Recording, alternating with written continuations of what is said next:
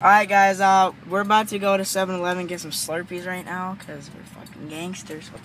Okay. Yeah, uh, he's back there. Fuck. Yeah, okay. My sister's driving, she doesn't really care, but she's paying, so thank you. Okay. Talk to you when we get there. So we're here at 7-Eleven. So I got Coke with the wild cherry. I'll talk to you back at the house. Oh yeah, he, I think he just got all blue right now.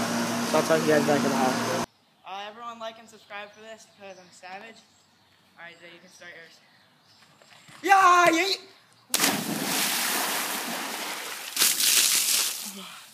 Got him. Alright, you can stop it there.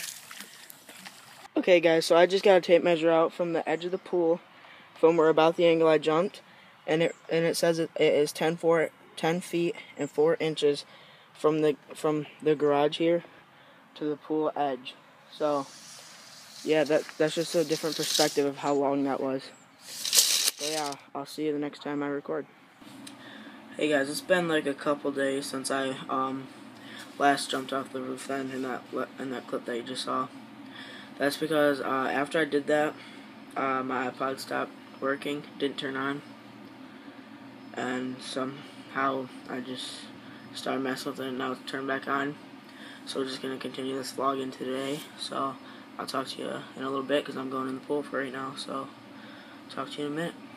Okay guys, so um, I was just out there riding scooters with my boy Jay.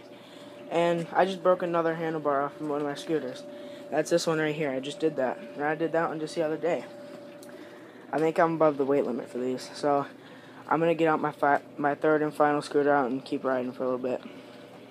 Alright guys, that's gonna end today's vlog. Uh, I know it wasn't that much, not that entertaining or nothing either, but tomorrow's I'll try and make a little better, so I'll talk to you tomorrow. Uh, go subscribe to Jacen. Um, and yeah, I'll talk to you tomorrow. Peace.